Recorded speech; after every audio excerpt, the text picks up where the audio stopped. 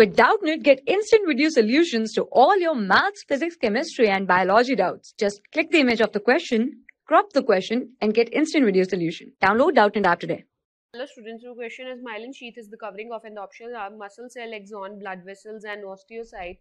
So, axons of neurons of neurons which are the cells of nervous system or the functional unit of brain. So, axons of neurons can be either myelinated or non-myelinated.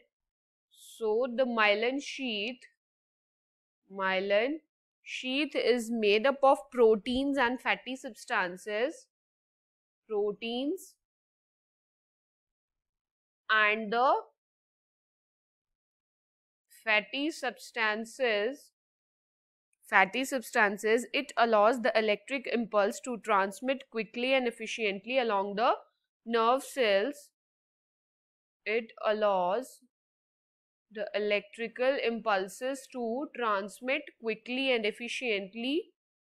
So, the correct option is axon as myelin sheath is the covering of axons of neurons, not the covering of muscle cell, blood vessels or the bone cells which are osteocyte so the correct option is Axon. Thank you. For class 6 to 12, IIT JEE and NEET level. Trusted by more than 5 crore students. Download Doubtnut app today.